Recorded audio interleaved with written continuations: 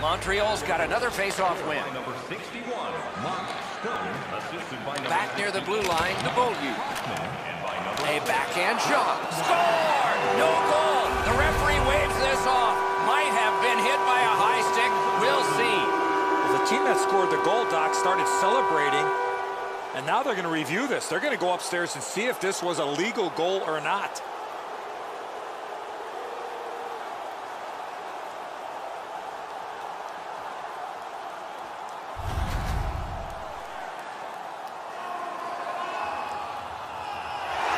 They finally get something to cheer about, Doc.